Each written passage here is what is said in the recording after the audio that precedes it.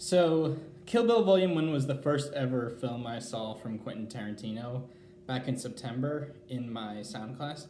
I absolutely loved it. I had a blast watching it. It was just so incredible. So, what did I think of the second one? Kill Bill Volume 2. Um, it's really good. I, don't think it's as good as the first one, but it was able to provide some answers to questions that we all had when watching Kill Bill 1.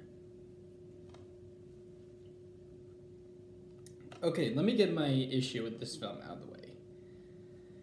It's the hillbilly character or something. I mean, I don't know, I just wasn't a fan of his performance or kind of importance within the plot.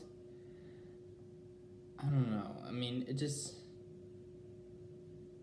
I, I don't know. It may have worked for some people, but I just don't think it worked for me. And I think this is the film that. And this, and this is the one element that is kind of holding this film from perfection. I feel like if he was able to serve something important or I, I don't know, like then maybe I would have liked it a lot more. But yeah, it's just it's at where it's at. But I really enjoyed the rest of the movie. Uma Thurman just absolutely carries this whole film. Like like especially during the last chapter when she's spending time with her daughter, like you really feel like like she's giving everything, especially since around this time she was be- becoming a mother herself. So like that you could really see that on camera and it's and Thurman just does a perfect job delivering that. I love it.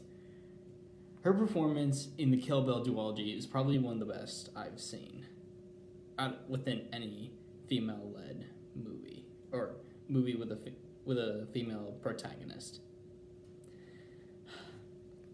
The action doesn't disappoint. The action slaps in this film.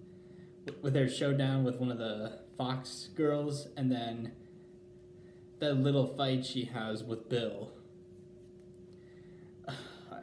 Like there are just so many things I like. Oh, I did, I did, I did leave out one thing that, that I also wasn't a fan of in this film. I, I forgot to mention that. It was the snake. I mean, I'm fine with a lot of the things Tarantino does, but just having a snake, that's where I draw the line. I don't, I don't, I, don't, I hate snakes. I hate snakes with a passion. except for Janice. But yeah, I just like when I showed up, I was like, no, no, no, no. That that just that that's that's not gonna cut it. I just um. Yeah, I really I really like this one. Like obviously I don't think it's as good as the first, but this did have a lot of great performances, a lot of the signatures Tarantino is known for. Like I also really liked that opening monologue, that opening scene in black and white.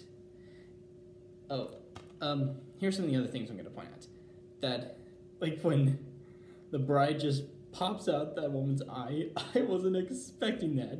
And I was also surprised that we were able to see it in color because in the first film, like, as soon as she pulled out that one guy's eye, it all went to black and white, which was probably done to avoid getting Kill Bill and NC 17.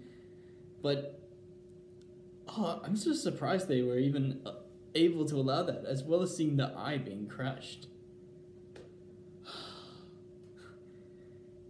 Oh man, Tarantino, he, he's he's a madman. He's a madman.